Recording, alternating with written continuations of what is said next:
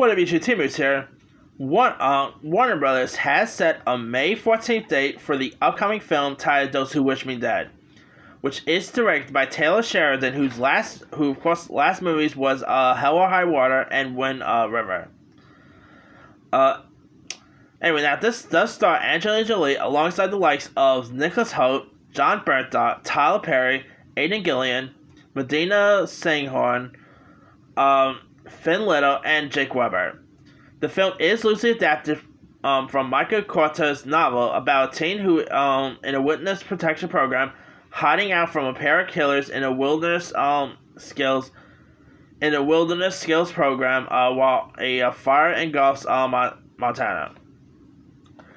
Now, this is the same guy who gave us um, you know, pretty much uh, gave us Hell or High Water, Wind River, and all.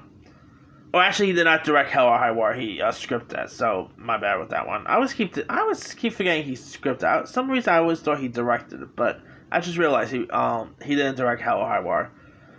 But hey, if you guys ever seen Hell or High Water, by the way, that movie is awesome. That movie is just is really cool. So definitely got you gotta watch that movie. But anyway, uh, Wind River, of course, uh, you know, was his uh, directorial debut. Um, he also uh obviously he also created that show, uh, that show Yellowstone. And this actually sounds really intriguing. I mean, sadly, it is going to both Deers and HBO Max, so fingers crossed Deers in New York City will be open by then, then I'll be able to see this thing in Deers. But we'll see what happens from now until then. Anyway, as of now, uh, the film is set to open up against um, that new Owen Wilson and Jennifer Lopez movie, uh, Marry Me, so there's that.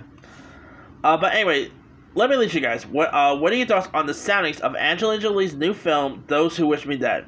Do you like the sound of it? Um, do you like the idea of it getting a summer release date? Have you ever read the book it's based on? Drop a comment below. Don't forget to like, subscribe, hit that bell for more notifications. This is Tim signing out.